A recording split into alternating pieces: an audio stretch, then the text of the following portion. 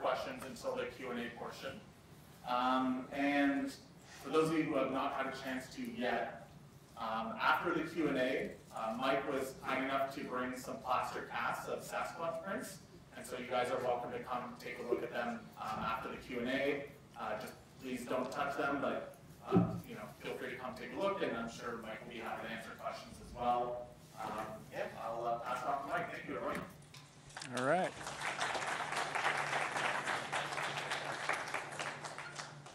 Well, thanks for uh, showing up, everybody. I really appreciate the interest. This is a very controversial subject, um, to say the least.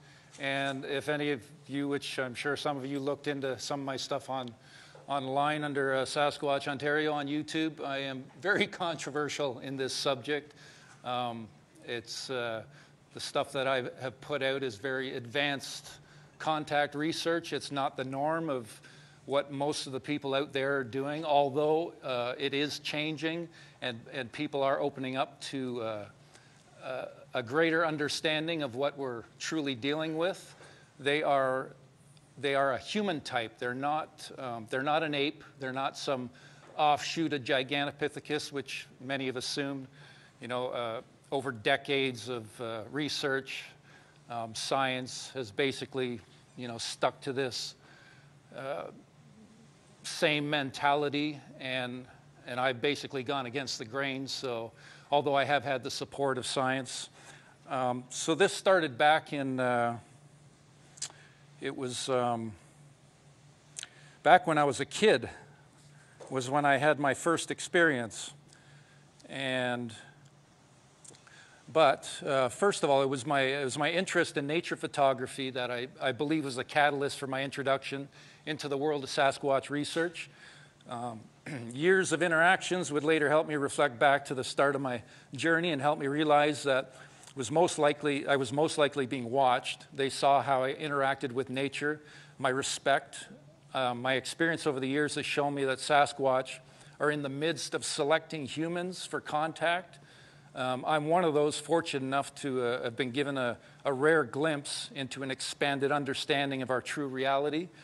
Um, the Sasquatch are no myth. They're an ancient human type who hold the key to uh, understanding consciousness and our true history. They are a people who have chosen to connect with humans on an individual basis, um, and they have uh, much to share with us. There is uh, intelligence beyond the confines of our visual and audible parameters that have remained hidden from the human race by choice. And we are in the midst of a great reveal, and science um, has chosen to deny the inevitable. Mainstream science. There are scientists involved that they know they exist. So um, this kind of gave me a thing to, to uh, show off some of my photography when I was uh, spending time in the woods, why I believe they, uh, they chose to connect with me. Um, just some of the shots while I was out there.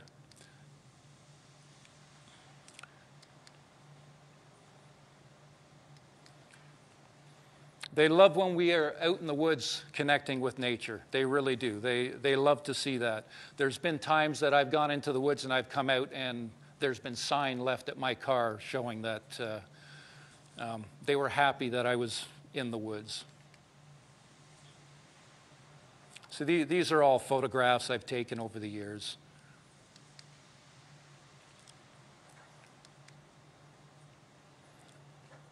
So it was um, my first encounter, which I didn't know back, I didn't understand back then. I was about 10 years old. It happened in Denbigh, Ontario, in the Ottawa Valley. Um, so it was uh, back in the mid 70s when none of you were born yet. And uh, my extended family had spent a weekend at a place called the Swiss Inn, um, located in Denbigh, Ontario. It was there at the age of 10 that I would have my first Sasquatch encounter. Uh, my father dropped me off down the road at a river where I, where I would do some fishing. And when dusk set in, I, I started to head back to the lodge. And as, as I was walking up the road, uh, which had bush on both sides, I suddenly saw something up ahead standing at the right side of the road. And as soon as I noticed it, the bear uh, turned and disappeared into the tree line where it, where it stood, and I froze in fear. Um, I then panicked and I ran back to where I'd been fishing. And there was a campground there um, with trailers and families. And I, I, walked up to a family sitting around a campfire and tried to speak, and, and no words would come out. I was traumatized. And I remember this. You know, this is, this is a long, this is decades ago, right? So I can almost still see the face of the father as I stood there. All the blood was drained from my face. I was pale white. And I finally managed to get the word help out and calm down enough to finally be able to tell them that I, I was chased by a bear. That was the story from a 10 year old who had just witnessed something that didn't register. um, the father helped me, and he drove me back to the lodge. On the way back, I pointed out the general location where I'd witnessed the bear. And it's a common occurrence for people to state bear when describing a Sasquatch sighting. Uh, they're not supposed to exist, and it's, it's typical that an encounter would have a deeply profound effect on one's psyche. Um, after dropping me off, I walked in the front door and nearly jumped out of my skin as the owner's German Shepherd was right there. I was still pale white. Uh, the blood hadn't come back into my face, and my family knew that I'd experienced something that scared the hell out of me. Um, so I ended up telling my family that, I, that I'd been chased by a bear. It was something that would end up getting uh, buried and forgotten for 30 years until October 25th, 2008. That was the day my life would uh, change forever. So it was uh, during my forest visits in 2007 when I was spending time with a camera in the woods um, that I'd have, I would have an epiphany. Um, I'd start looking for Sasquatch and pursue the photograph of a lifetime. That was my, my goal at first. You know, I was like, because I was in the woods um, photographing nature. So I wanted to find and photograph a Sasquatch. Um, that was my initial goal, something that has changed over the years as my experiences grew and evolved, showing me a whole different perspective on the enigma of Sasquatch existence. Um, so these are uh, something that's very common, and personally, I know they make them because of things I've experienced. A lot of people still question structures, tree breaks, that sort of thing. If you go walking in the woods, if you walk any trails these days in, in any patch of woods, you know, it could be local, and you'll find a lot of stuff, um, structure type things that look man made. They might be right alongside of a trail. And a lot of people will just walk by them and not even question them. So, um, structures that look man made are something that are a common occurrence found in areas that may have Sasquatch presence. Uh, sometimes they're built right next to trails that humans tend to frequent. My own thought is they're purposely placed there to entice curiosity, uh, to give a soft exposure of their presence. Most humans will walk right past them without a second thought. And I've learned throughout my journey that Sasquatch um, want to connect with humans. Uh, the young are especially excited, and I know that from personal experience. Um, I've documented many structures in numerous locations over the years, some of which I've had experiences showing their presence. And I've witnessed changes to some structures that I've, I'd keep an eye on while making frequent visits to a location.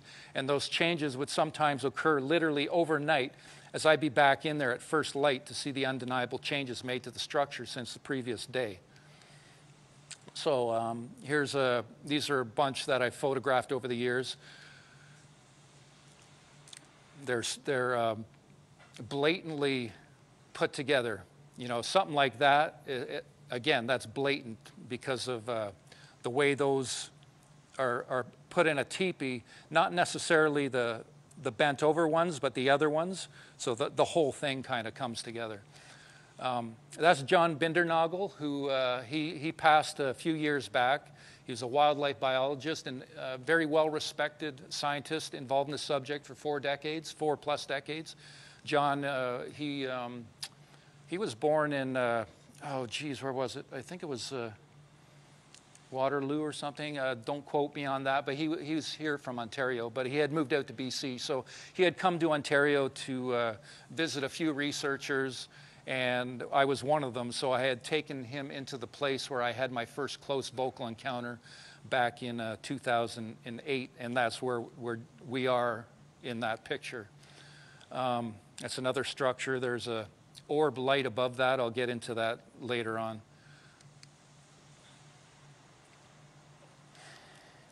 So if you're ever in the woods, just keep your eyes open. You might see some of this stuff. And like I said, a lot of people walk right past them thinking, ah, some human just did it. Um, even if you find something that looks like that and the ends are cut, it doesn't necessarily mean it's put together by humans. That's a friend of mine, Leanne. Actually, uh, I'll go back to this previous picture. So, Leanne and I were in this spot, um, which was actually out in the Brampton area, out in, out in some woods there. And I had uh, basically uh, given Leanne some info on, on what the real stuff was about. She was already involved in the subject. And so we'd gone into this spot, and when we left, you know, we'd found a bunch of structures. And when we left, we are standing in the parking lot, and there was a steel sign behind us, and suddenly we hear, we hear a stone ping off of it, which is, uh, I'll get into some of that stuff because it's, it's very interesting what we're dealing with. Um, so this one's basically right over top of a trail. And these are, you know, th- these are spots typically uh, anywhere. You don't have to be in the deep woods. You really don't.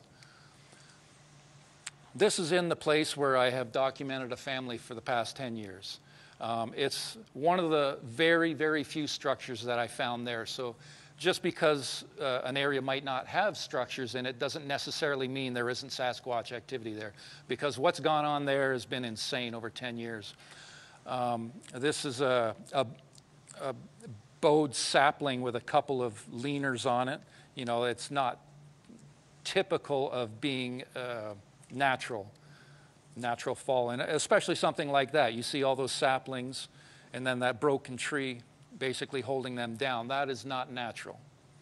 Um, the, the yellow paint on the tree that's just uh, maintained by, by the local county or whatever it is.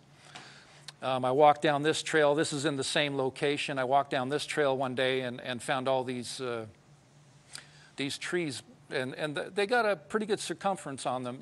You know, you, you couldn't snap those what the, the strength it would take to break those, and there was, I don't know, maybe about a half a dozen or so, they were all just snapped. And that was it, just those ones right there. So very suspect. Um, you can get uh, trees that are bowed like that, and you get build up with ice and snow, um, which would be natural. But if you look at the end of that, it's, it's locked down with another tree. That is not natural. Uh, that's John, basically, and again, that's in the same spot. Um, John is actually standing a hop, skip, and a jump where I had my first close vocal encounter back in 2008, and that's uh, that's a um, a healthy. Uh, is that a looks like oak? I'm not sure, oak or maple, but it's uh, you know what it takes to break that. It, it's basically a hop, skip, and a jump from where I had my close vocal encounter where put me on this path, you know. This is in my own backyard. It's the only tree like that, and it's about 50, 60 feet from where I do audio recording. Um, I've had a lot of presence shown there. Uh, I'll, place audio recorders, I'll record all night long, and sometimes they show up. I'll get wood knocks all, all night long from all different areas. Um, there, there was one night where I had recorded about five dozen wood knocks from, from different uh, locations throughout the night, and there was snow on the ground. So when I went to pick up the audio recorder in the morning, um, I didn't hear this, but there was a, a good crack, good stick snap right near the microphones as I was walking up to it. It was basically impossible. So um, when I was listening back, that's when I heard it. And we're dealing with uh, a species that has mastered Earth energies. So they can do things that um, most humans would say is impossible. Um, so, did they break this? I don't know, but I believe that there was no reason for this tree to break like that, especially at the base. Um, so, some of the prints that I've documented over the years, uh, that shot there is my footprint on the left beside a uh, Sasquatch print. His name is Nefertia. I got his name through audio, through uh, many months of patting my chest and saying Mike. And finally, one day, he spoke it, and he spoke it into the microphone. And he's, uh, he's given a, a, lot of vocalizations over the years, which is extremely rare. Um, there's audio from the Sierra Sounds back in the early 70s. Nobody's been able to come out with anything basically compar- comparable since until 2013 when I got involved in this situation. Um, that's just another angle. Uh, so you, you, can see the, the, the difference in you know, how smooth my foot is compared to the, the rough toe pad on him. Oh, and I'll just go back to, sorry, back to this one for a sec. If you look along the, the, the right edge of the, his print there too, you can, you can see where the hair has pushed against the snow. The, you know, it's not smooth, right? It's, that's from his hair. That is a, um, I think that was a 17 inch print um, that showed up within five minutes of arrival. So I've been visiting a private property up in the Kawartha the Lakes region in Ontario. I was invited in to investigate for uh, purported Sasquatch presence. Um, they suspected for about five years. And uh, at that point, I'd had several years' experience, so I knew kind of what I was doing. I knew from the first day, uh, the first night basically, that there was indeed Sasquatch presence there. Um, so this print showed up on one of my visits within five minutes of arrival. I was still bringing my equipment into the house, and one single footprint. Again, they are masters of energy, so Sasquatch can move about without leaving prints, even in snow. So I have documented literally hundreds of prints in snow over the past 10 years from this same family. 100% of those prints go nowhere. They're either a single print or they're a trackway. Um, they start and they stop, they go nowhere. Um, there, uh, some of them have, have had dirt in the first couple of prints where I found the start of a trackway, and then the feet go clean. There's no dirt anywhere, it's just all clean white snow. And, you know, I, I just asked to keep an open mind about this because I, you know, the, we're dealing with something here that is, uh, from what I've learned, is an ancient human interdimensional species that, as I mentioned, have mastered Earth energies to a level that um, science has avoided up till this point. But we're, we're, we're almost there. We're, we're, we're at the precipice. This stuff is bubbling at the surface, and um, so that, that's basically the same print. This is just outside of uh, the property owner's cottage. One single footprint. I ended up casting that, and I, it was a fail. I put too much water in the cast. Kind of kicked myself in the ass over that one, but lost that. So that was a, uh, this one here is a 20 inch footprint from the father of the family. And again, that was a single print given.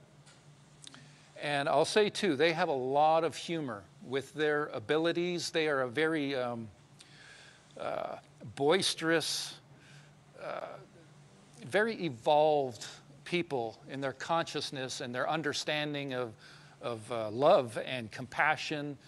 Um, whereas you get these television shows always pushing this monster portrayal, um, this knuckle dragging ape mentality. This is not what they are, although there are some cases where, um, you know, they display that type of behavior.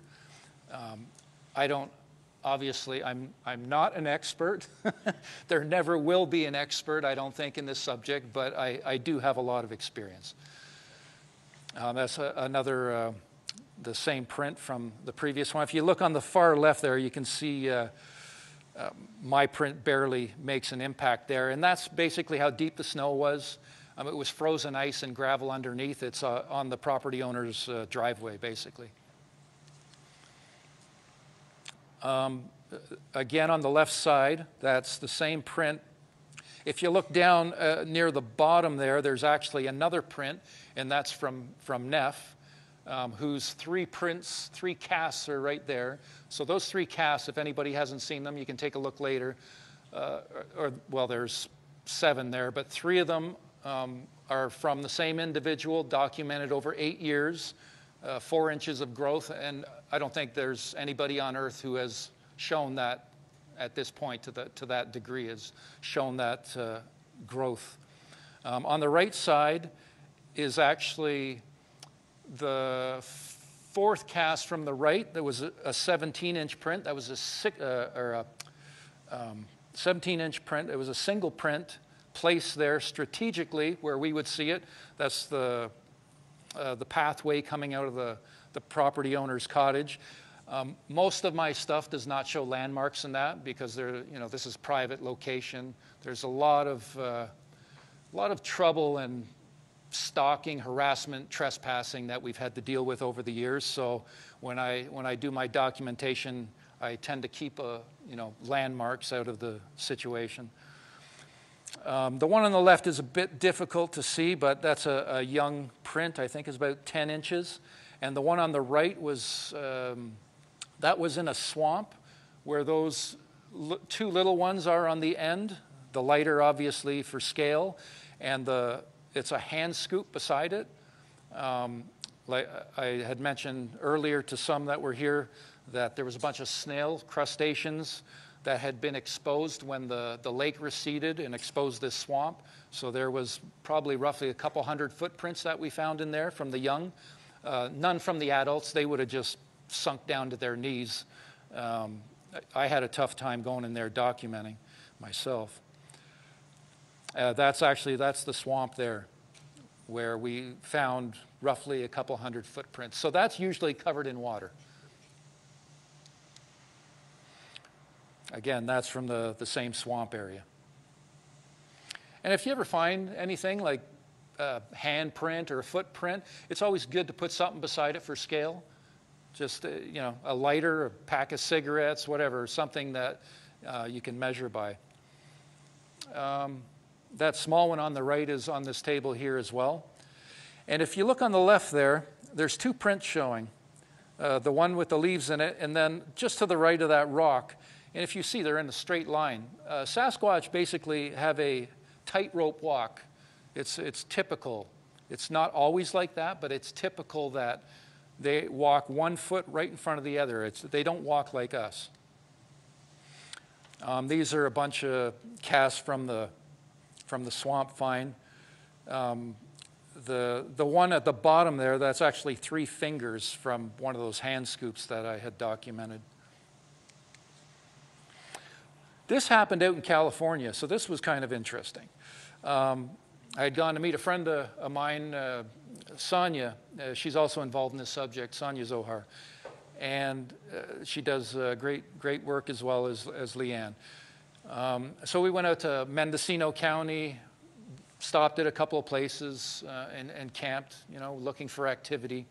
And we stopped by this river, and I found this, uh, this trackway here. And again, if you look, it's basically uh, a tightrope walk.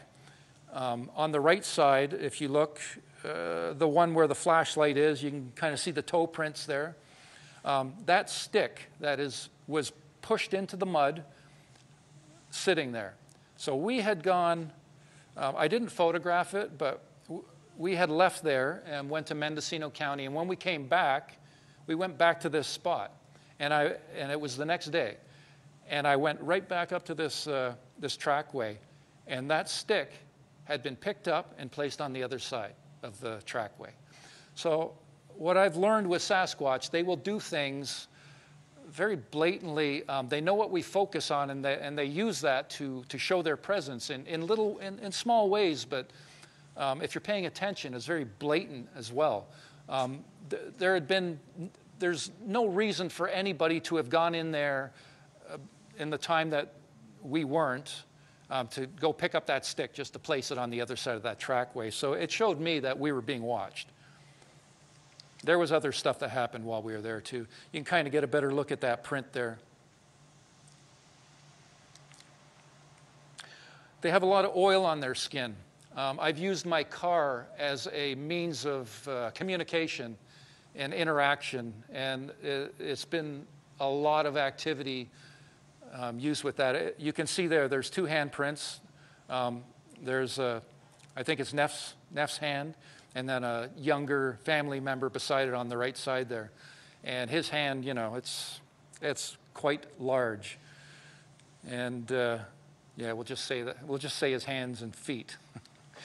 um, and that's another uh, um, handprint. You can see too. I, I, think it's uh, you know behind his hand. There's still a lot of oil too. I think it's come off of his uh, his hair on his arm. Um, there's been. I remember when I was getting some of these prints on my vehicle.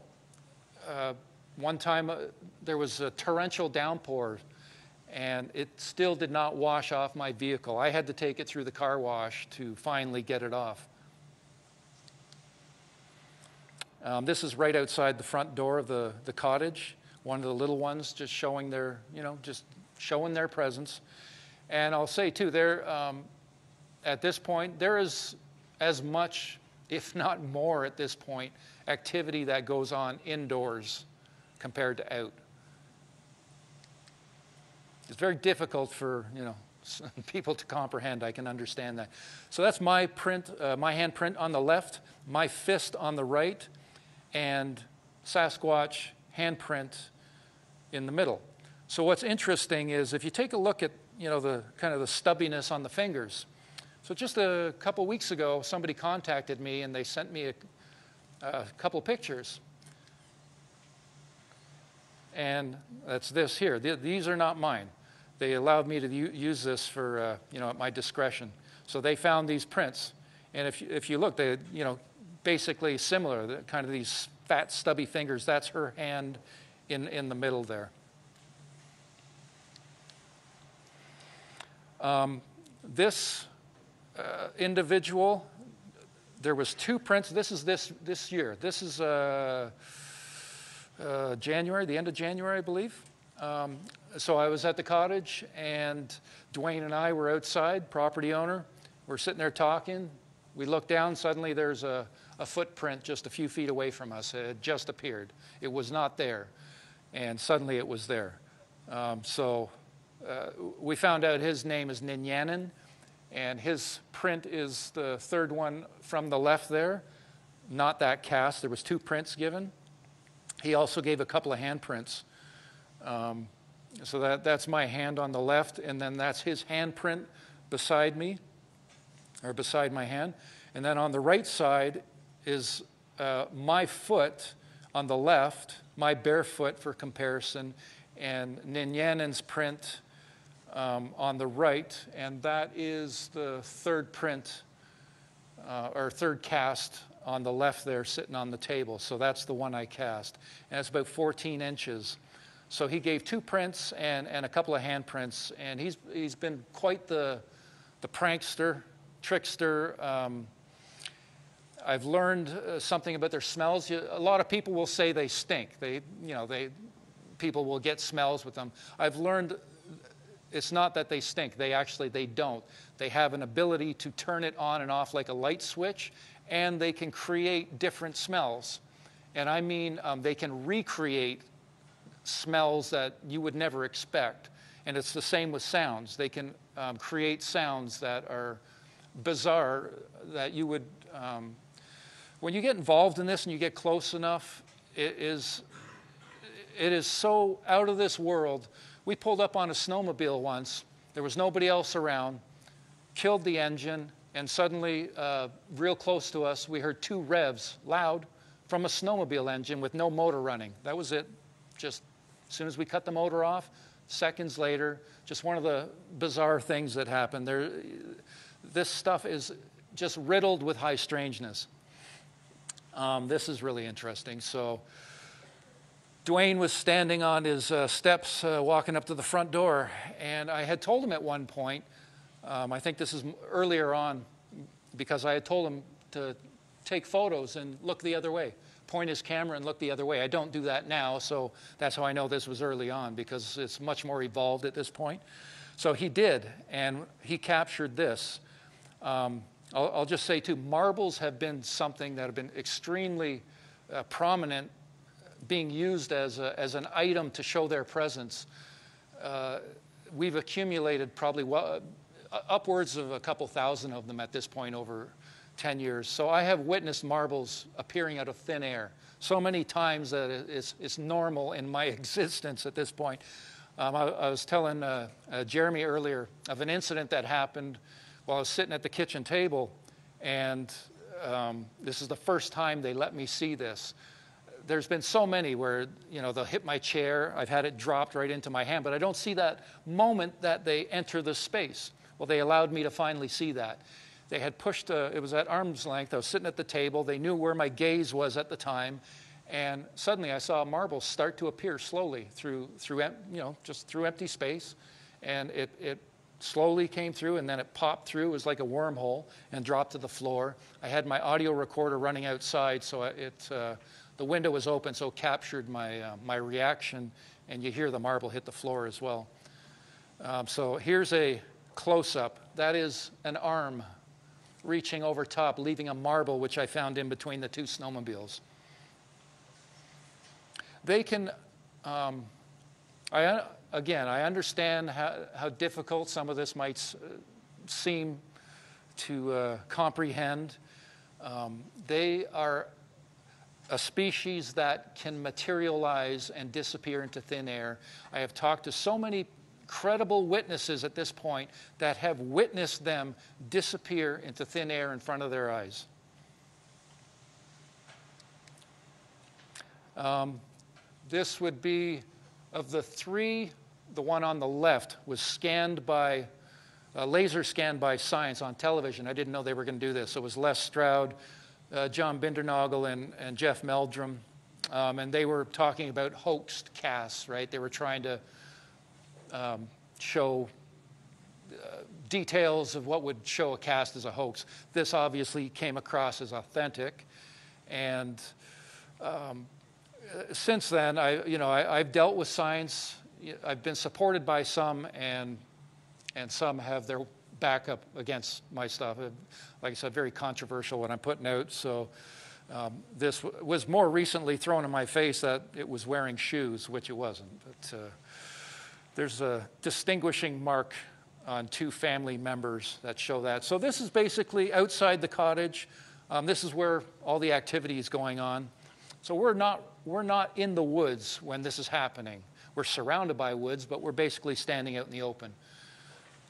When you connect to Sasquatch, when you, if, if you can make that connection with them and develop that, uh, you find out that it can show up literally anywhere. And I mean literally anywhere.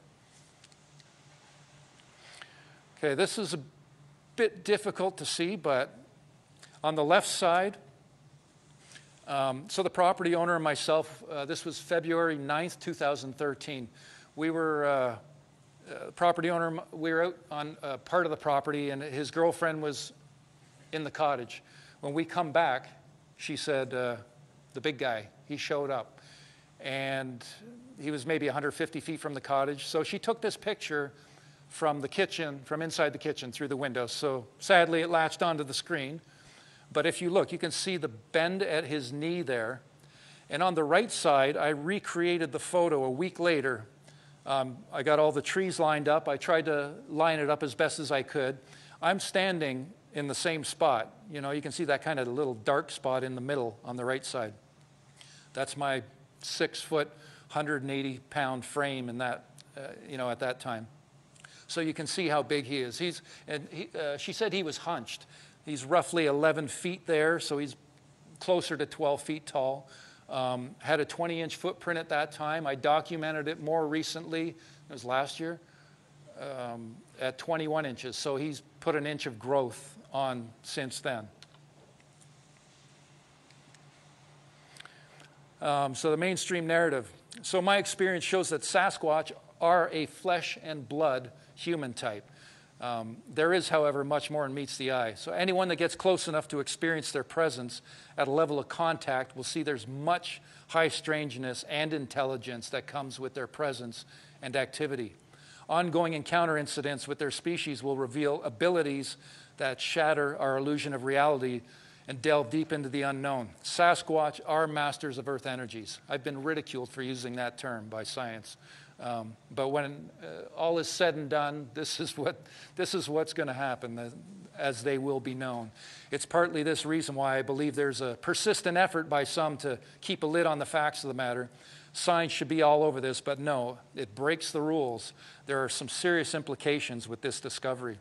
Um, just the logging alone, the logging industry will be hit so hard.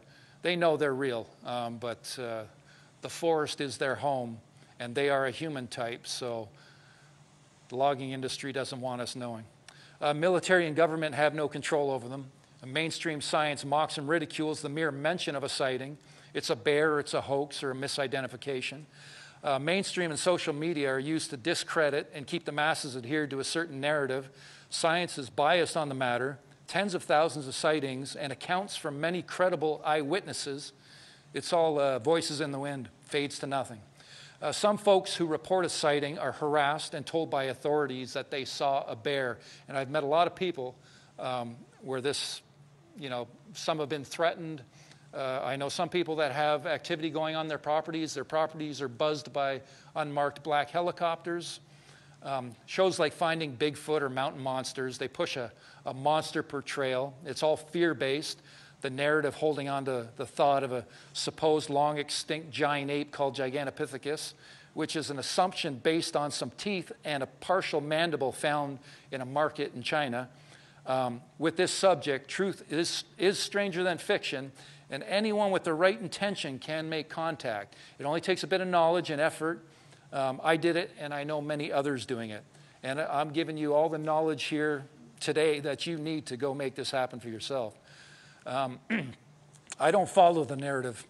I follow my experiences and what they show me. I get it from the source, not from some TV program that still plays the do they even exist game. Um, there's many involved in this subject who refuse to acknowledge that there's a part of all this that doesn't make any logical sense. It takes a critical thinker to do this properly, to keep an open mind, regardless of how strange it can and will get if one persists. Uh, one simply needs to accept and address that we're dealing with a mystery that most humans have no experience with. Most involved in this subject have no contact experience, and anyone getting involved tends to resort to methods that have proven futile for literally decades. Um, it's like the definition of insanity keep doing the same thing over and over, expecting a different result. You either evolve as you learn or stay stagnant in your approach. Um, I know some that have spent over 40 years and still deny and put up trail cams, hang pheromone chips, camera traps, etc. You might get a reaction, that's it. Um, contact is where it's at, and that's where you'll learn about who they really are. Uh, my personal involvement in this subject has brought me a very challenging path where there's been a, a wall of denial, uh, much slander, harassment, stalking, hoax accusations, and more. Um, at one point, I did have the support of John Bindernagel, uh, who was a prominent wildlife biologist involved for over four decades. I'd mentioned that earlier. Um, uh, John was a true pioneer in the field of Sasquatch research. I had the pleasure of spending a little time with John, showing him structures and other related phenomena in the area where I had my first close vocal encounter back in 2008.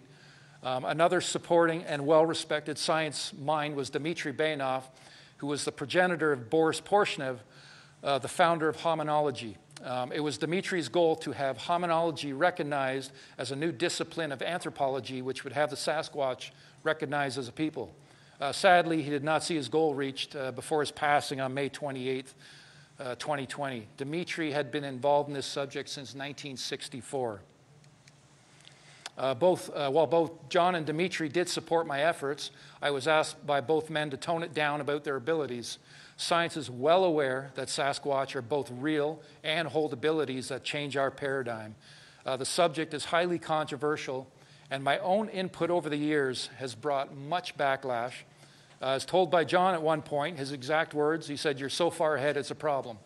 Uh, Dimitri had asked me to not talk about their abilities as we had to have them recognized first. He'd stated that I was putting the cart before the horse. I had politely refused on both accounts my thought was too little, too late, and I'll be six feet under by the time science catches up. Uh, my intention is to give it all and let it be sorted after the fact. Uh, I stand by my decision knowing that my, my work has helped many understand their own experiences, uh, while others have used my information to make their own contact happen. Um, there has been uh, no organization involved that has shown contact or as much supporting evidence with such consistency. I see it as a, a gift meant to be shared to help the greater good. Uh, this is about truth, not human ego. And science has played the denial game for far too long, uh, but I believe that's about to change. Orbs and high strangeness.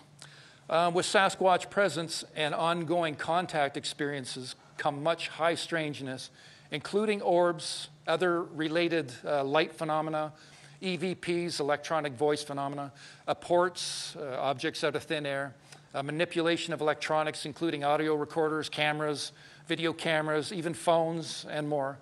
Uh, my own situation has developed to even having gained written communication, and telepathy is a periodic occurrence. Um, I've personally witnessed an extreme amount of incidents that I tend to think most humans would say is impossible.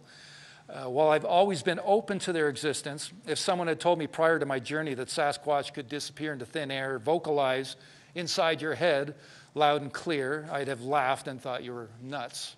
Um, their activity will change even the most skeptical of minds, and I'm, I'm far past belief at this point. I'm a true knower due to extensive uh, firsthand contact experience. Um, so I showed this one earlier. That, that was a, that's an orb that I captured photographing a structure.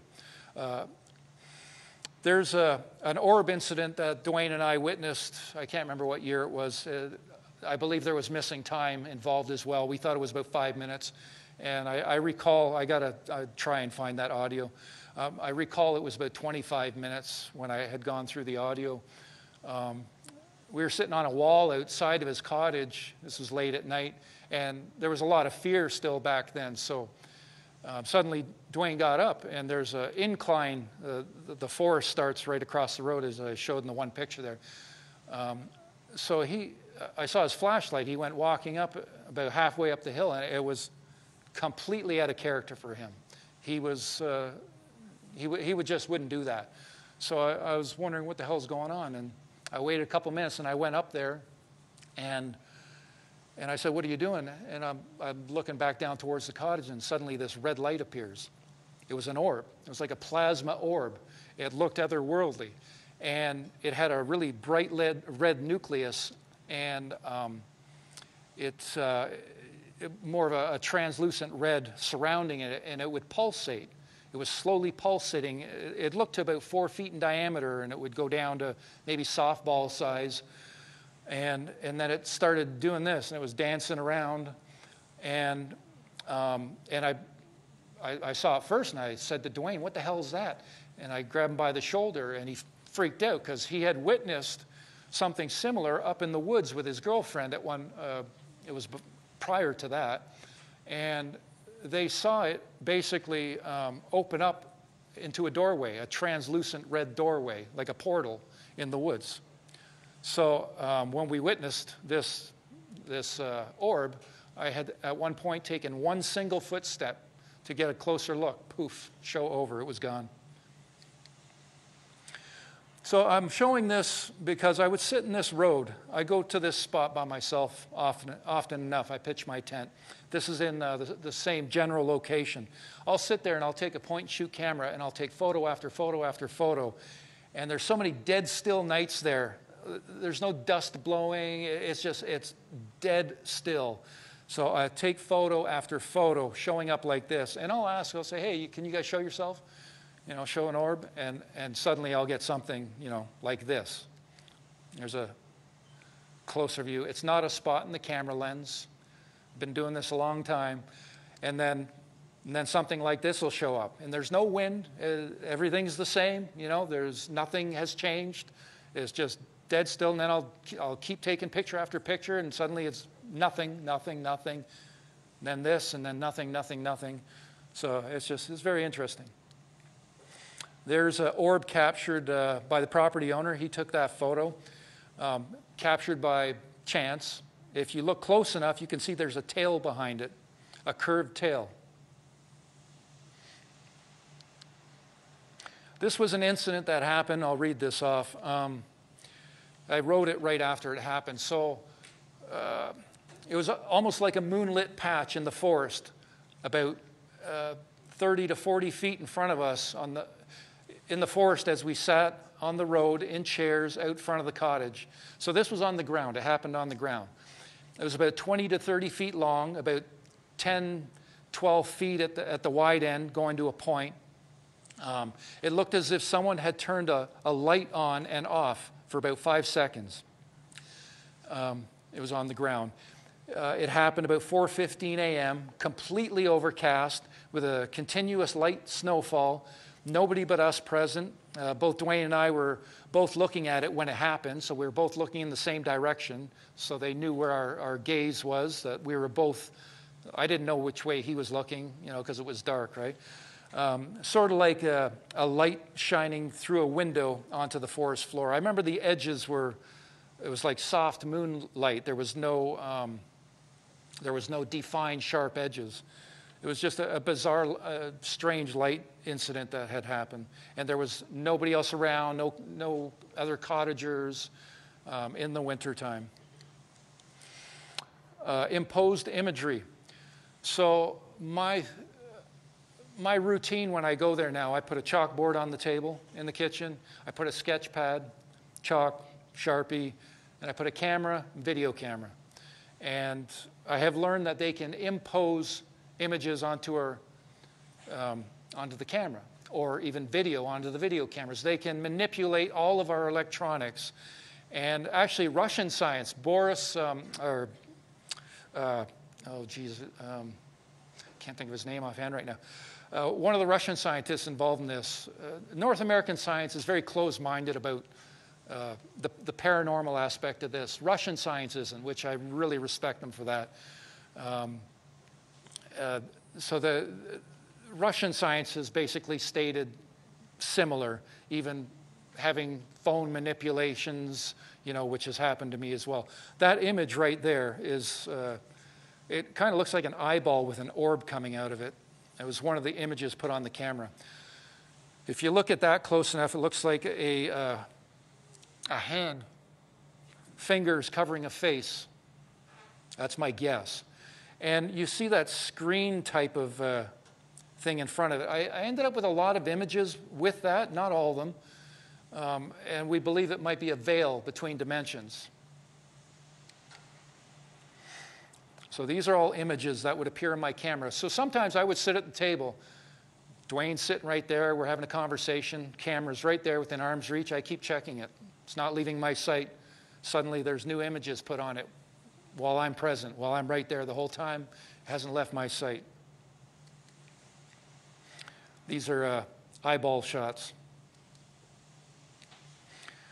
This is uh, uh, one of them. I believe their, their face turned away. They don't typically like to show their face. Hand shots. They do show themselves in bits and pieces. Another eyeball, partial headshot. I don't know what these are. All I know is that they're responsible for putting the images on. So this night, um, that's the camera that I would put on the table. I had asked to see uh, fingerprints from, from one of the young ones. And uh, so Dwayne was standing in the kitchen when this happened. I was sitting right there on the couch. You know, it's all basically uh, open area. And he looks over towards the table and he sees my camera and he sees these prints on it and he points and we, we go over there and there was actually condensation on those prints which we sat there and watched dry up within about five to ten seconds so they had just happened, leaving those two oily finger marks. This was a, a, a more recent one. You, you, can't really tell, but uh, the lens, um, it's looking at the cottage door from in the kitchen. I'll, I'll just say that. But about this picture, it's basically impossible because it's showing the internal, um, the internal mechanics of the camera. It's like a camera taking a picture of the inside of the camera shutter, you know, looking out through the camera lens, which it can't happen. It's, it's basically an impossible shot. It's looking through the, the, the guts of the camera. So this one here, this was a little, I think this was a bit blurry, but this was a video, little short video. Like these are very short clips. Um, I get a couple of clips that would show up on my video camera. There's a, a bit of sound in the background. It's a television going on in the cottage. So.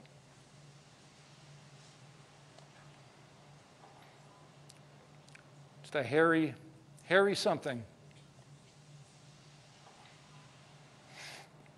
Um, speaking of Harry something, so we were sitting in chairs one night. Dwayne's sitting right there. Um, uh, we're both watching the woods, and and suddenly I, I get this. Uh, I, I, called it darker than dark. That's how I explained it to, to Dwayne because it was. Uh, um, it was dark outside, but I could still see this, right? And it, it, showed up in front of my eyes, just inches from my eyes, and it was like a, a, smoky substance. And next thing, I had my face covered by something hairy. My, my nose, my mouth was covered. I was fine with it. I didn't, you know, I didn't freak out or anything. I was comfortable. I trusted them.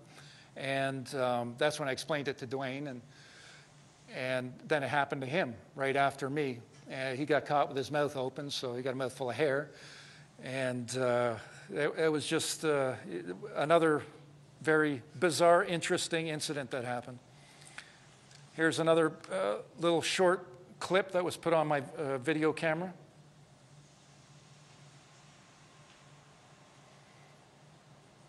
Again, just showing a piece of themselves.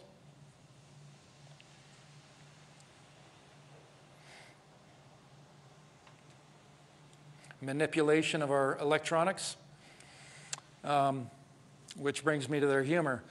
So we're dealing with an intelligence that displays much humor. They're the epitome, the absolute epitome of don't judge a book by its cover.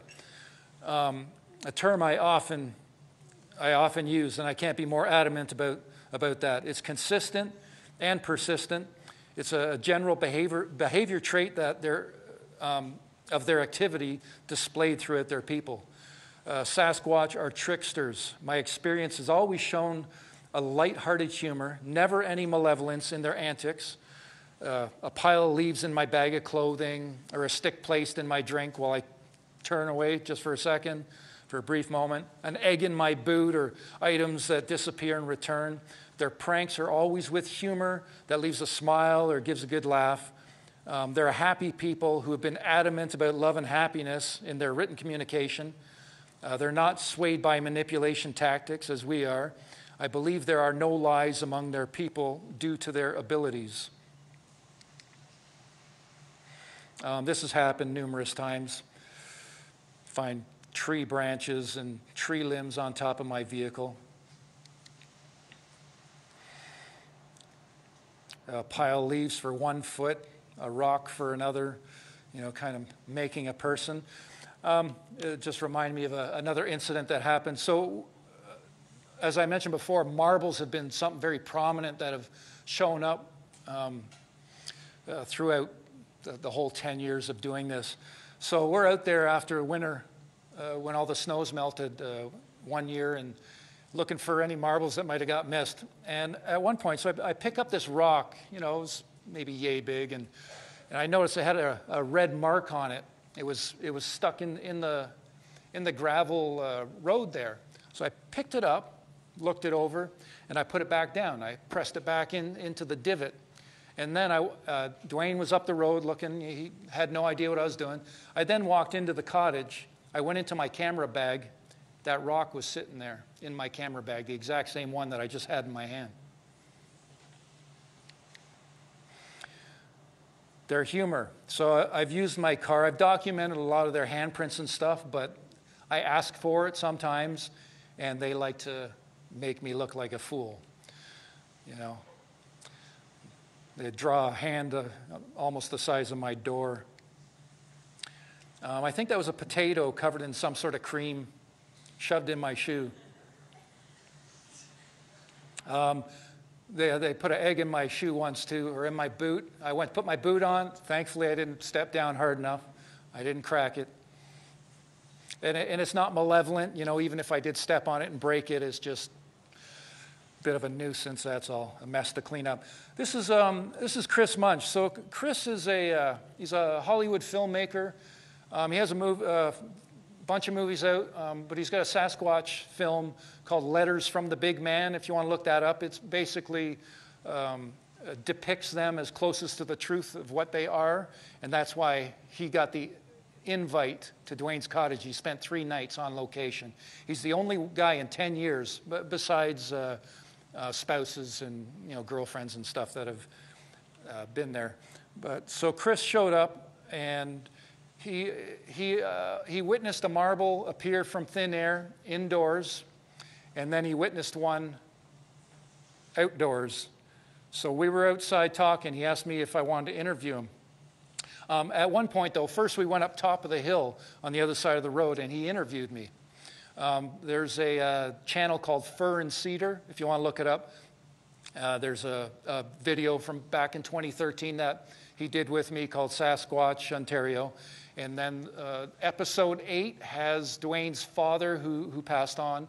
Um, Bill was there for a lot of the visits uh, with us. Uh, you know, he did his own thing. And um, so it was myself, Dwayne, uh, Bill, and, and Chris at the cottage at this point. So it was Chris and I up top of the hill there, and he was interviewing me. So as he's setting up his camera, I'm sitting in a chair, just us two there, and, uh, and invis- invisible presence. Uh, suddenly, a fist sized rock lands on the ground and rolls and hits my, my chair leg. So I know we got company. And then um, Chris is setting up his camera. He's, he's placed uh, his camera bag just kind of on the ground right beside him. And when uh, he, he went to reach for it again, there's a banana peel sitting on top of it. So these things are a very common occurrence. Uh, hold on here. Let me get back to that. Oops. Sorry, trying to get that to play. So I, ba- I actually capture a marble that appeared out of thin air. Just let that play here. Oh. Uh, was some of the markings left on Mike's car, Mike's sort of dirty car, uh. Uh, what struck me about one of the handprints in particular uh, was that the oil apparently the skin um, was transferred to the, to the car and stayed there in such a way that uh, Mike's handprint, which was also on there for comparison purposes or for uh, control, um, uh, was much more easily washed away. Um, uh, the oil remained, and, and as a result of that, we were fixed with it. And Chris just got a marble, right? Red marble, Right now. this one's literally from the sky. This just happened right now. They're here. Thank you, my friends. Common occurrence. Hello. Anyway, the, the, uh, the So, yeah, that was uh, a rare capture to, you know, capture in a port out of thin air on camera. It's not something that's happened too often. Uh, writ- written communication has been developed since early 2013. It started with a, a whiteboard with a marker left in the woods. Uh, that brought success, so it was continued just outside the cottage front door with a notepad and a crayon. I had written friend on the pad, and when it was retrieved, there were, there were markings on the paper.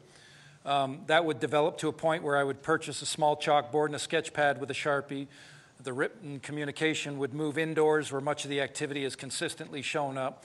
The activity to date is ongoing. Uh, leaving the chalkboard and sketch pad on the kitchen table has become part of my routine. Questions are, qu- questions are asked both out loud and written down, and there's been much, much success using this method to communicate with their family. I've been given many drawings and answers to questions over the years, uh, some highly controversial. Um, one of the first things I did with the, the sketch pad, I, had made a drawing and I asked Neff if he could give me a drawing, and I had signed my name, and I asked if he would sign his name. And this is what I got I got a flower with Is that a sideways N? I don't know, but uh, that was what I was given. I asked them, Are you human? Uh, they used to put yes or no, but uh, they don't anymore. They just put a Y or an N. So Y slash N. Are you human? Yes and no. Are you gathering or uniting us? No. Um, so their, their uh, ability to manipulate energy to a point of invisibility, um, if you break energy down to a quantum level, it's basically empty space. And they know how to manipulate that, they know how to move through that, they know how to uh, travel. Um, so I've been trying to, I've asked them, can we do what they do? And they say yes. So, as crazy it sound, as it sounds, apparently we can do what they, they can do. Um, so they asked, uh, I asked, um, you know, can you show us how to go there? There's something that's come up with these three dots in a triangle. I've been persistent about that. I don't know what it means yet, but when I asked them that, they did the other three dots like it was mirrored, which was interesting because at one point um, there was some trouble going on, and we'd asked the person uh, who it was, and they had given a name. They wrote it on my car, and it was written backwards, like it was mirrored. So that was uh, very interesting. Um, so I asked them, you know, can we do that from anywhere? What they do, they wrote yes, and I don't know what that is on the on the, the sketch pad, but they've given a number of drawings like this. If it's some sort of equation or some sort of language, I don't know. I haven't figured this out yet, but I've, I've gotten a, a number of drawings like that over the years. I've been given several dozen drawings. Um, a controversial question Did humans ever land on the moon? No, never left. This is what they say. From what I have learned, they know our true history. They know what goes on behind closed doors because they understand consciousness. They can find you anywhere through consciousness. Um, and they have shown that they can see ahead in our timeline. These are my experiences. So, um, certain things that have happened, they, they know things that are coming, which I believe is why they are in the midst of revealing their, their people to uh, select humans. I've asked them uh, quite a few controversial questions, which I'm not going to get into.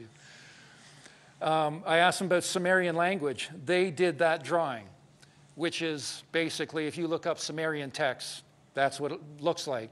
And then I wrote afterwards, Do you know what this means? I didn't get a response, so I will revisit that.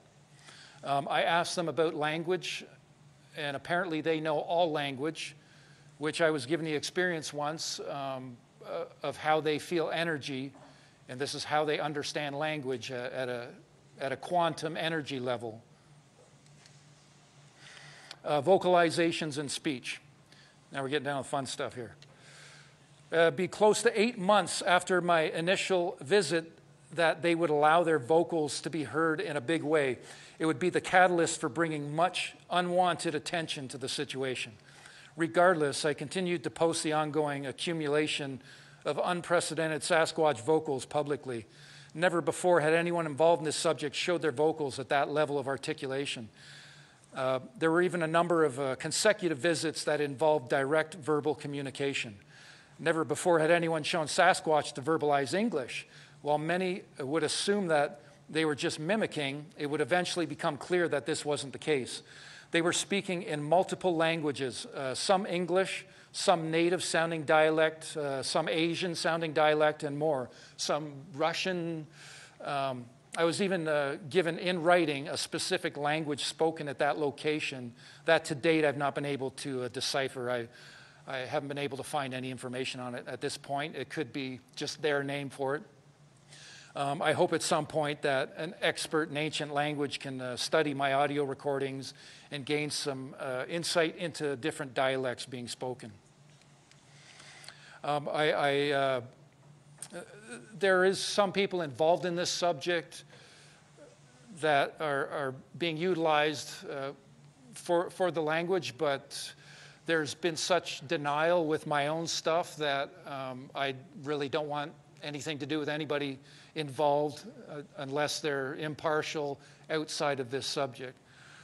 Um, so it was back about eight months after the visit started.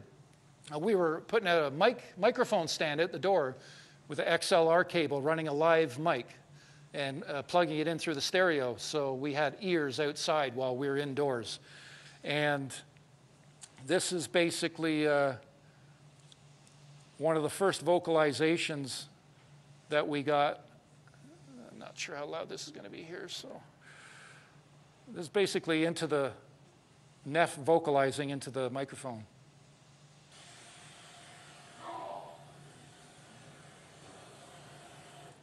I'll do that again.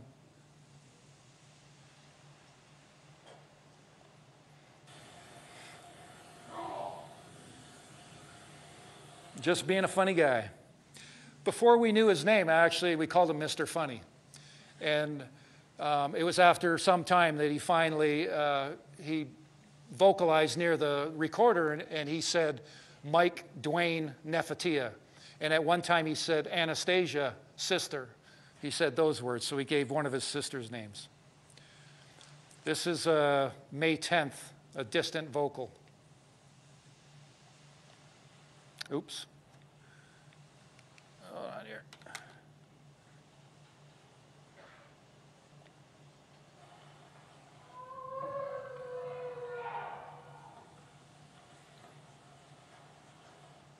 You know, I get a lot of comments. Um, people say, oh, it's just a human.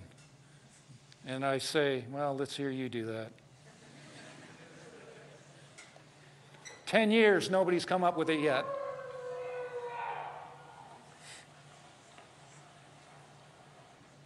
This is uh, the, the first time um, they said my name. I was in my tent, and I remember, I remember hearing this. I was like, and in, in the morning when, when Dwayne got up, I said, I think I think he said my name. And he's like, What? I said, Yeah, man, I think he said my name. You know, because uh, um, I would run, I, I, run audio mics through my sunroof where my car's parked, and then I'm up, up a hill over top where my tent would be. So, you know, there's some uh, blockage there from me hearing clearly. I can hear them vocalizing, but they gravitate to my audio recorders, which is just absolutely awesome. So he's saying Mike.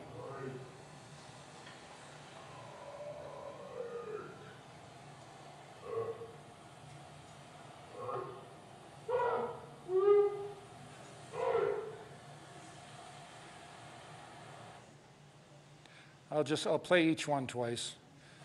Maybe not one of the longer ones, but.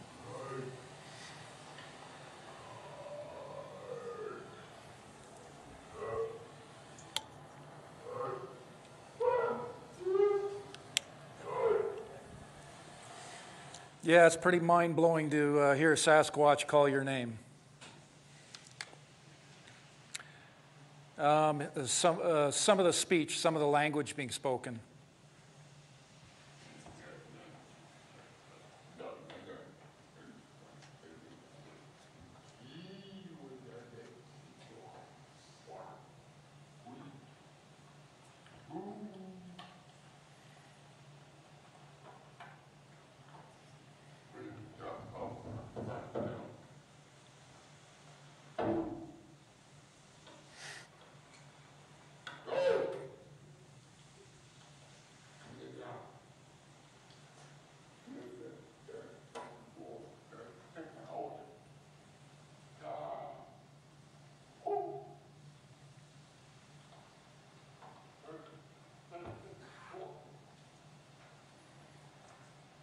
You guys can hear that all good? All right? Good. The longer ones I'll just play once here. Um, so this one here, th- this is one of the ones that uh, I get a lot. Like I said, you know, oh, that's a human, and I always point them to this. This happened about 5:30 in the morning, and I tell them, okay, let's see you put, let's see you do this. Take the rest of your life, figure this one out.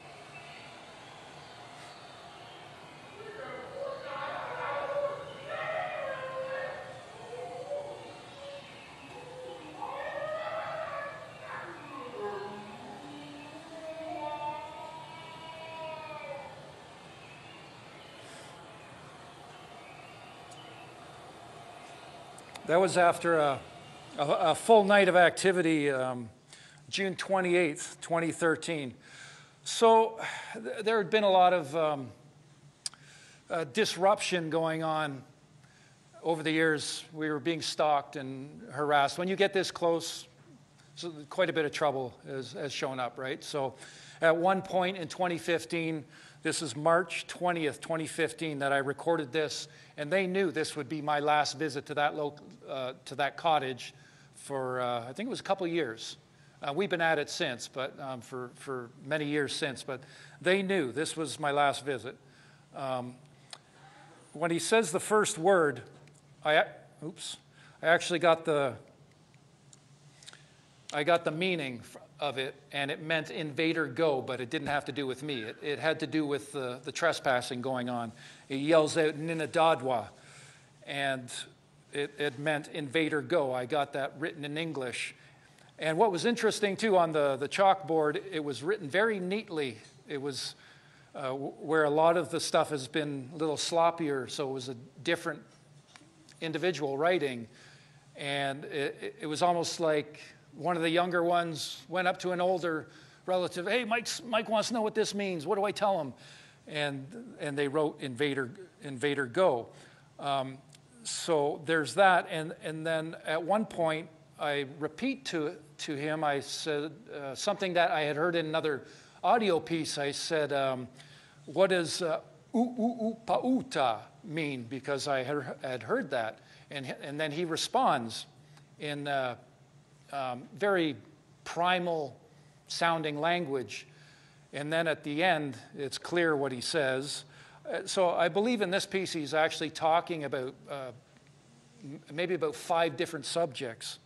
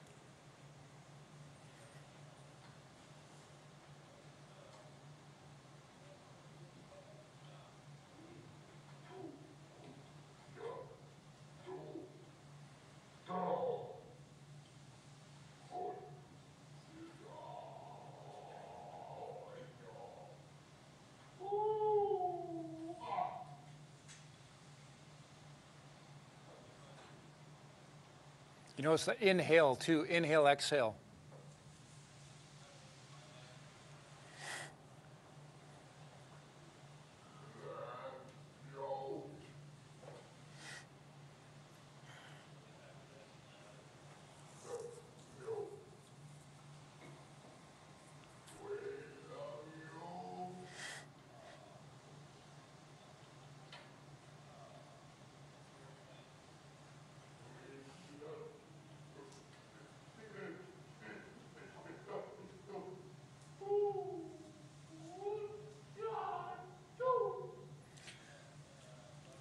So at the end there, he says, Achoo, I was having an allergy attack that night. So we'll run through six more here and, and we're good to go. A lot of people have, um, you know, mentioned the property owner being the voice of Neff, but I can assure he's not. I've put out enough vocals that uh, it's easy enough to tell.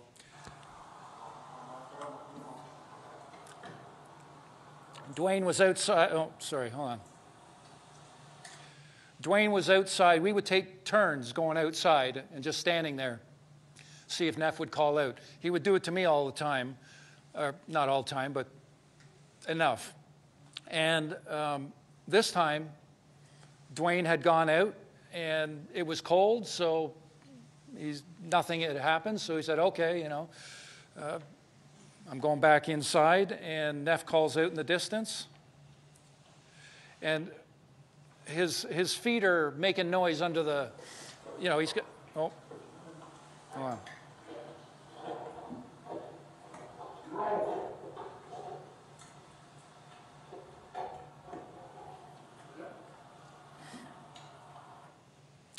Sorry. Oops.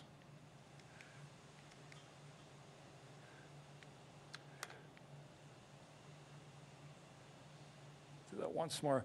Um, when, when you're outside and you're walking and you have gravel scuffing under your feet and, some, and there's wind and, and a vocalization happens, sometimes you don't hear it properly, right? So that's why he was questioning if he had heard something there.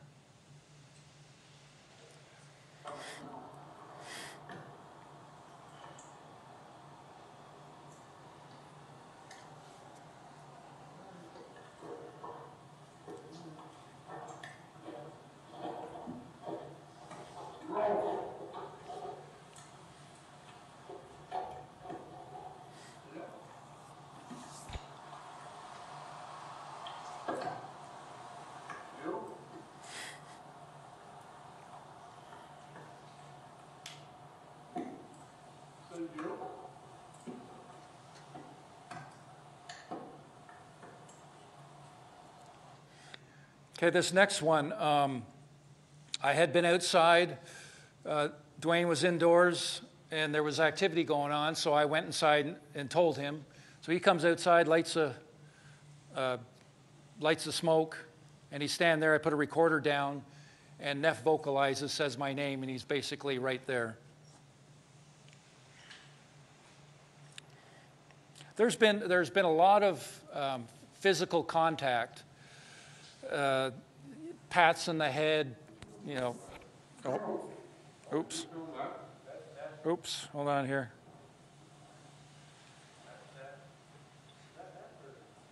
I don't know what. I got lost here. Hold on here.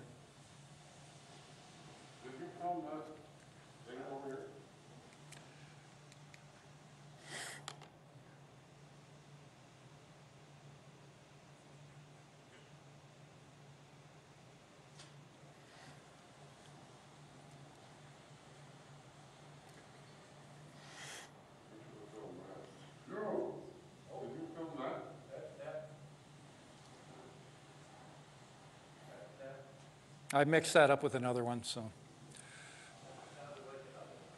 So the two of us were out there and Neff vocalized.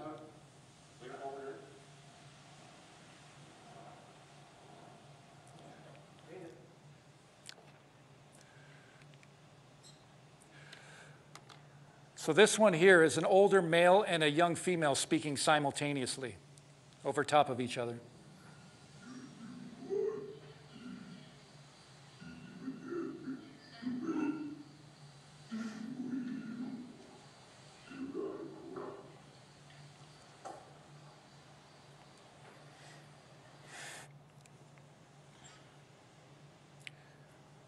I was saying a lot of their vocals, um, we get a lot of inhale, exhale. They, they speak on both the inhale and the exhale um, with a velocity that is beyond human.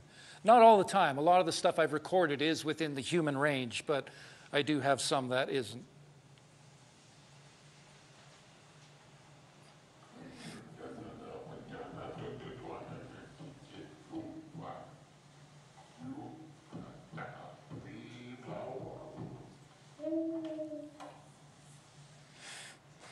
He was banging on my car roof there.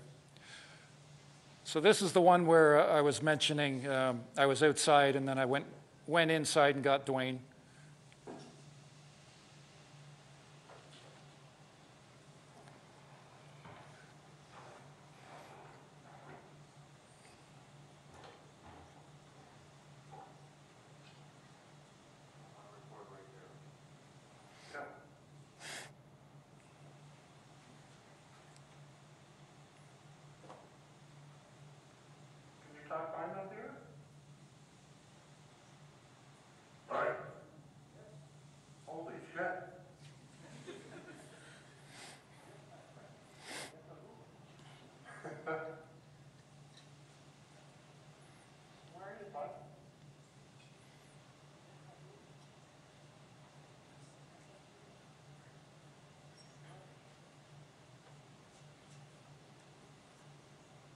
I, I think this is the first time he tried to say flower and he couldn't control his voice, if, if I'm not mistaken, if this is that piece here.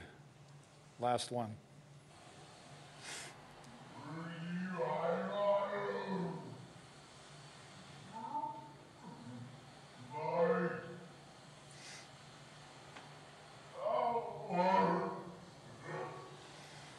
He actually chuckled to himself when he said that. I'll play that once more.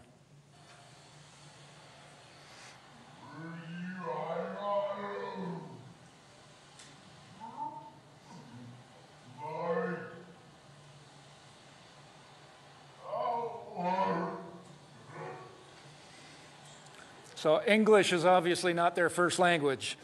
And um, they, the, the, the first time he couldn't control his voice there. After a while, I actually have him saying it like, you know, flower, look at me now, you know, he's, he's just, uh, he's got it down. So um, over the years, they've given so much, and it just, uh, it's been 10 years now.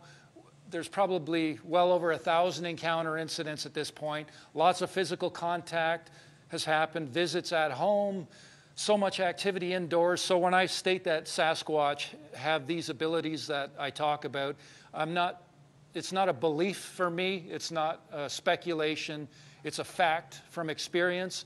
And there's a lot of people involved in this subject, doing this field work, getting similar results, experiencing the same stuff. Um, you know, if you do enough digging, you can find this stuff online.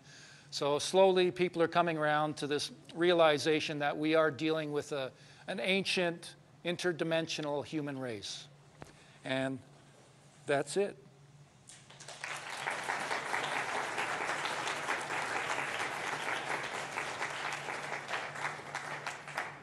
So, if anybody has any questions, I'm sure there's got to be a few. Um, I don't know how I should. I'll, I'll let you uh, point out uh, to people. And, yeah, so raise your hand if you guys have a question, and uh, Michael. Okay, go ahead. Are there any other species or beings that mainstream science doesn't believe in that you do? Um, there, there's uh, definitely uh, the, the dog man thing. Have you ever heard of that? I, I think that's where the werewolf lore stems from. And I've asked Neff's family about them. If, is that your people? They said no. I said, Are they good? They said no. Um, so there's a lot of people doing research into that. There's also the little people, um, which is a the, the native culture is very aware of. They ha- also have those similar abilities as the dog man.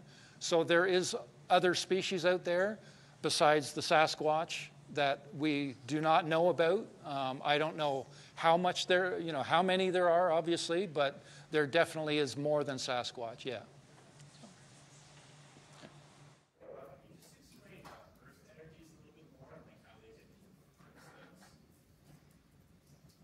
I, I don't know how they do it. I, I believe it's an, in- inherent quality that they have, that they've, uh, a knowledge that they've carried through their, you know, th- through their species from day one, basically. And I, I believe they can manipulate inherently their, their vibration to different frequencies that allows them to uh, be like cloaked, like predator see through, to completely invisible, to the ability to move through walls, to flesh and blood, uh, you know, and everything in between. Um, how they do that, I don't know. If, if I knew, I would do this presentation. You wouldn't see me, but you would hear me. So.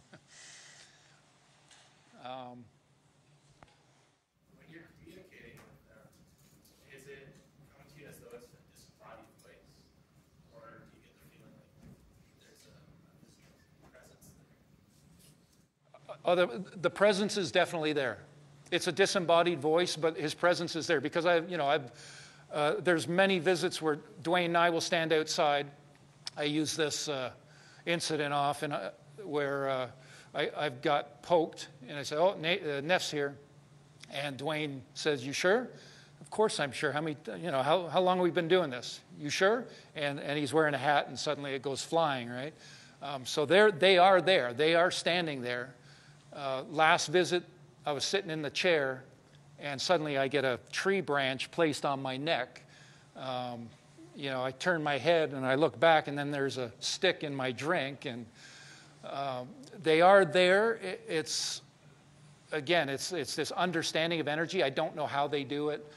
Um, so, it, while it is a disembodied voice, they are still they are there as well. So you have all of the audio recordings you have, was it like anything to record the audio or maybe maybe not video?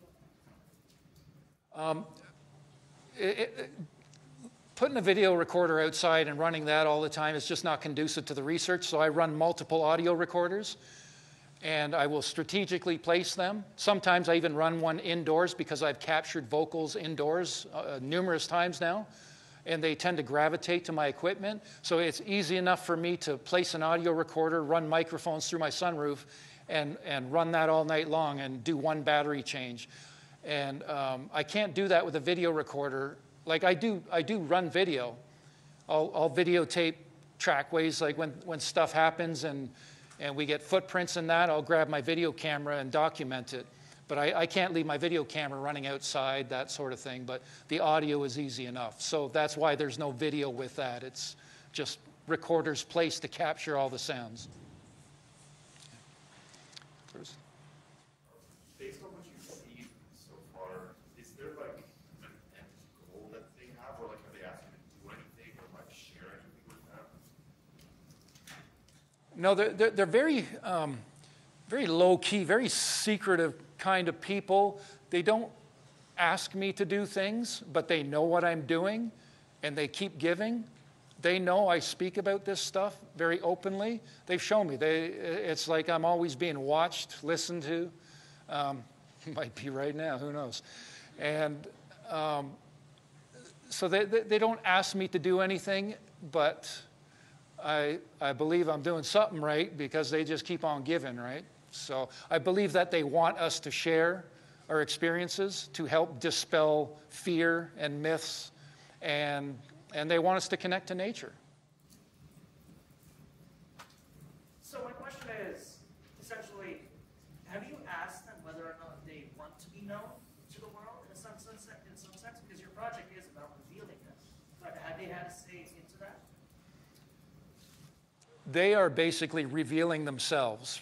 They, if they wanted to be discovered, they would.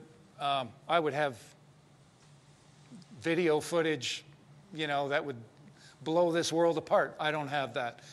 Um, there's things that I do have that I don't uh, post publicly, but it's not that they want the entire world, you know, uh, to discover them.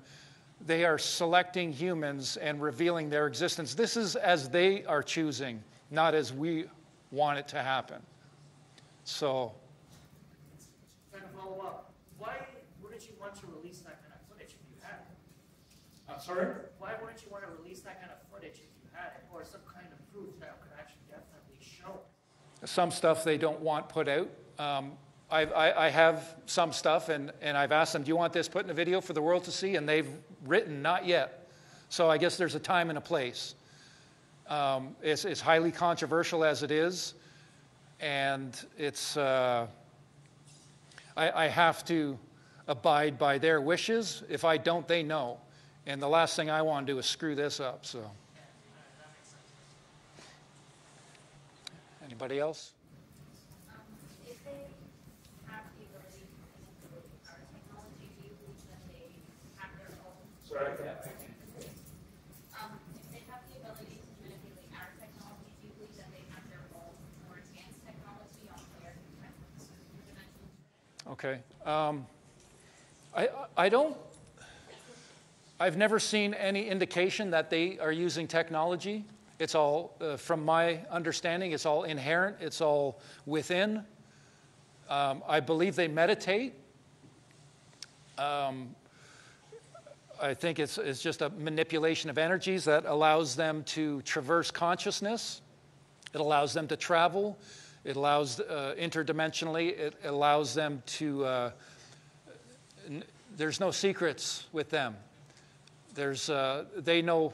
Apparently, they know things going on behind closed doors. They know what they know humans more than humans know humans. They know um, stuff going on behind closed doors with uh, nefarious things going on.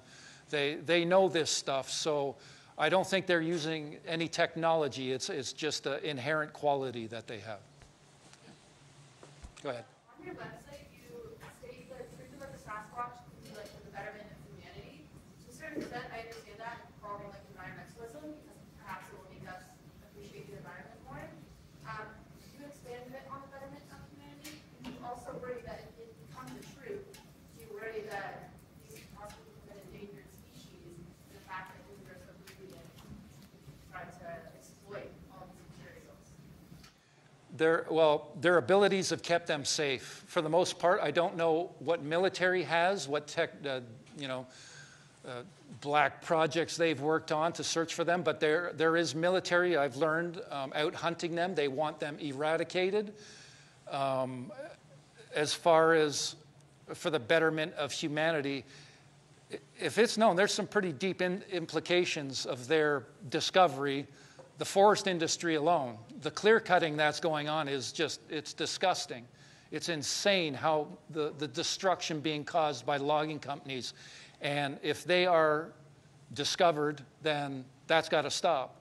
It has to at least be cut down to select logging, you know, at the, at the most. And they are a species that um, they're very, uh, they're one with the earth. They, they truly are. So, it, for the betterment of humanity, this is about connecting back to nature. You know, they, you know, they took the path of nature. We took the path of technology. Look at, look at the destruction we're doing. And they might break trees, but they're not killing the earth.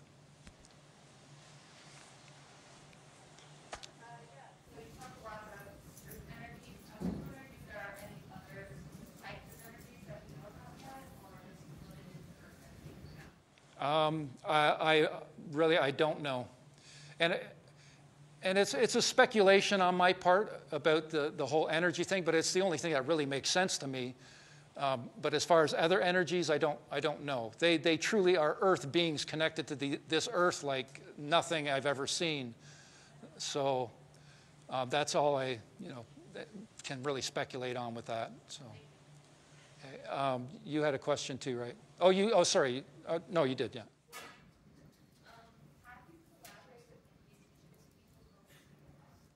No, but I want to. I definitely want to. And I figure it's going to happen at some point.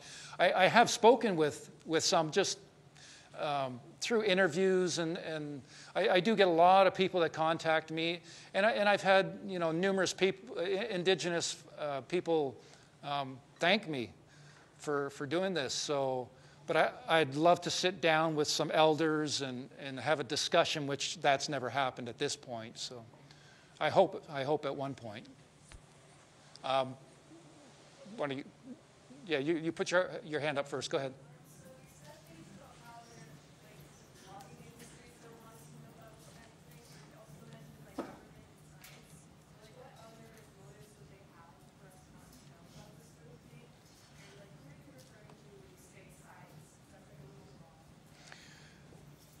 I mean, mainstream science.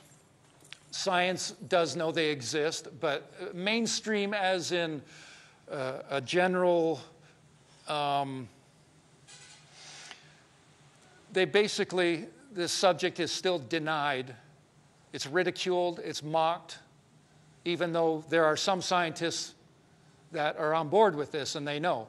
But, you know, you go on the news or you, you see a thing in the news or anybody that is not already involved in this subject that basically uh, avoids this because it's a career killer, pretty much.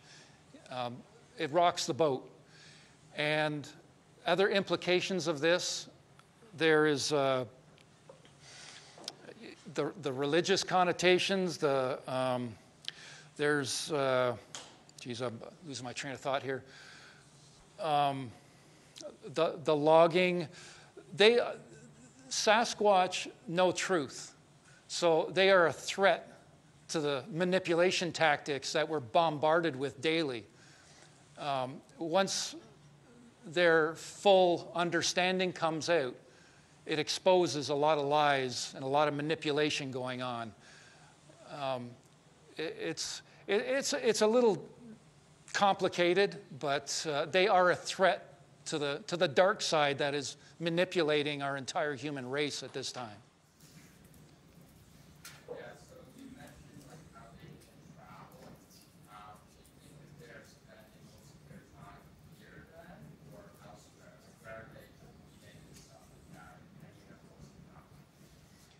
Do you mean, do you mean earthbound or?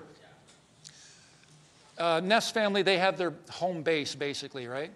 So I, I've had periodic visits at home, and there's also other Sasquatch that have come to visit my home because uh, I've asked Neff's family if it was them. They said no, um, which I have the audio recordings of the activity going on. Um, so they, they tend to spend most of their time, I think, in their home base. I don't know how much traveling they do or where they go. Um, I do have a, a, friend in Florida that I trust that binge watched my videos one night, and her and her husband heard Neff's voice in their house. So, you know, I, I trust what she told me. Um, whenever I go to their home, they've always shown their presence. I don't always know if they're there, but that's why I put audio recorders out. I get home and I play them, and, and they, you know, doing a lot of stick breaking or rock clacking. A lot of it's very primal stuff still, but it's, it, it's interesting how it's, it's so primal, but at the same time, it's so advanced. You know, it's, it's just one extreme to the other.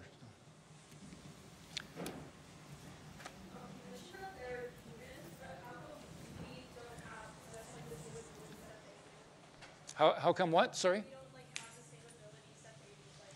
Apparently we do. We just, I think they're shut off, but um, we just have to learn how to turn them on, develop them. From what they say, we do have those abilities. And humans are telepathic. You know, you might, you might have some strange things happen throughout your life. Uh, um, a lot of us are too distracted to, to uh, really pay attention and notice it. I, like sometimes I notice things in my own life. I'll, I'll give a, a, an example, and it's really kind of stupid, but um, I was working with this person one time. This is years ago, and this is right when the, the internet first come out. So I was born before that, right? um, but she, she asked me, uh, it was Microsoft Word. She asked me how to spell something. I showed her, I was showing her how to use spell check. I said, "Give me a, you know, give me a sentence, any sentence." And suddenly I, I heard in my head, the dog went to the store of all stupid things.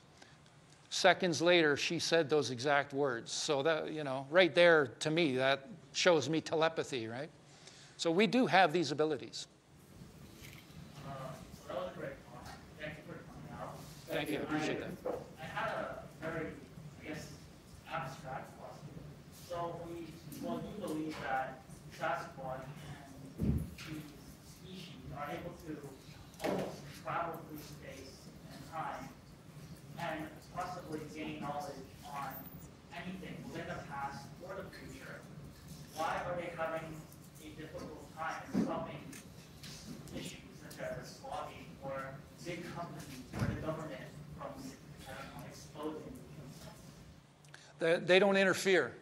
They, they might get pissed off, but um, they're not a, I don't think they're a warring species. They're, they're not, uh, they hide.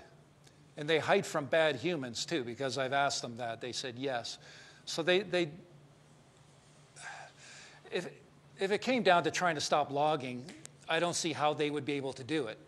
You know, if some loggers come into an area, um, it was back in uh, 67, around the time of the Patterson Gimlin footage, there was some logging going on, and they had come into the, the camp and taken those big oil drums, tossed them around like nothing, you know, showing how pissed off they were. Um, that's basically the, the extent of it, though, right? They're not, uh, even though they're, and, and they don't all show the intelligence that, that Neff's family does. So, you know, I don't know if they all have the, um, their abilities developed to the, the same level. It doesn't seem that way. Um, apparently, they, they all can go invisible from what I was told by them. Um, but as far as like stopping logging or something, yeah, I don't, I don't see how they could do it, really.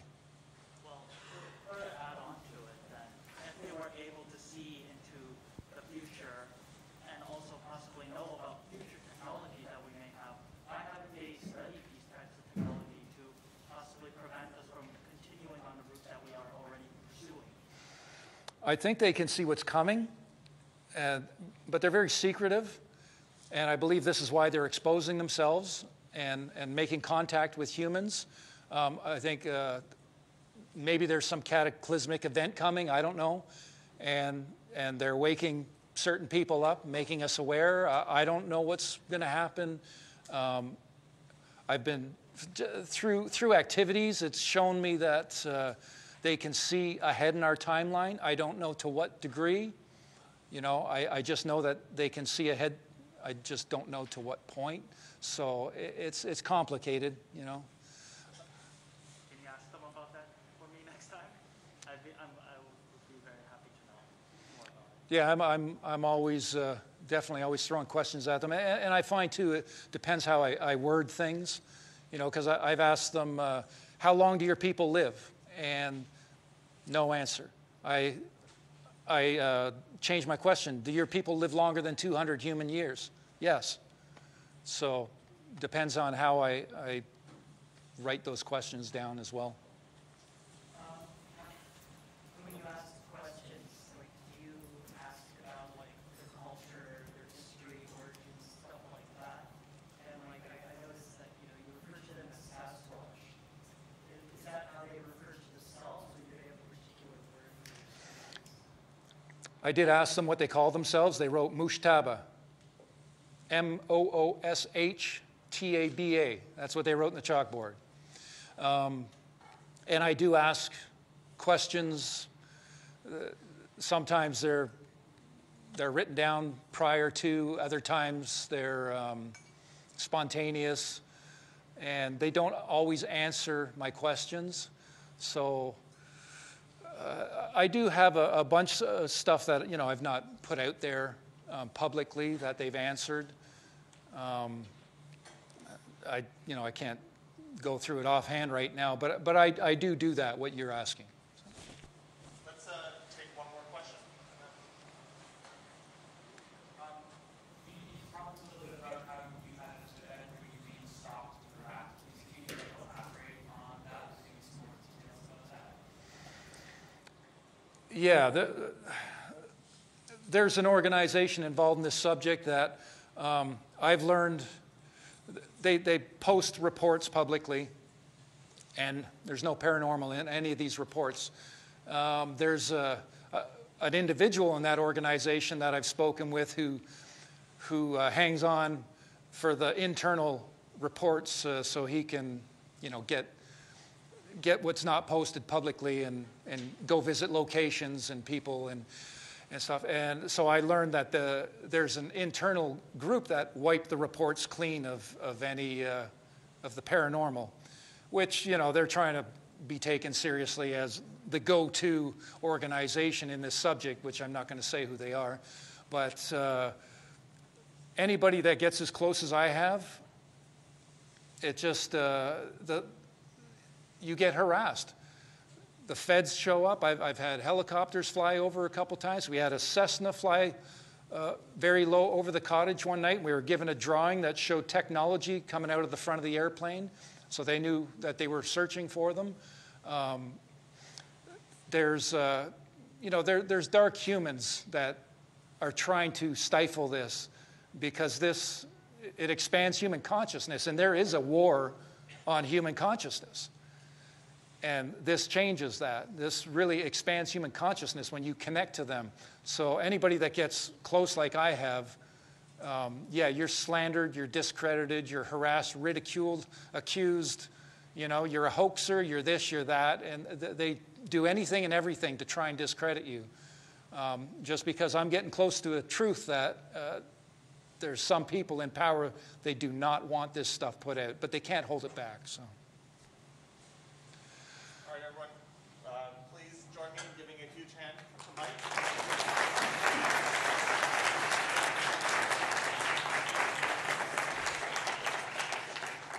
Thanks. Uh, I appreciate everybody coming out. I appreciate your interest, all the questions, and, and hopefully I shed some light on, on all this for you. And, you know, I know it sounds batshit crazy, but uh, it, it is what it is.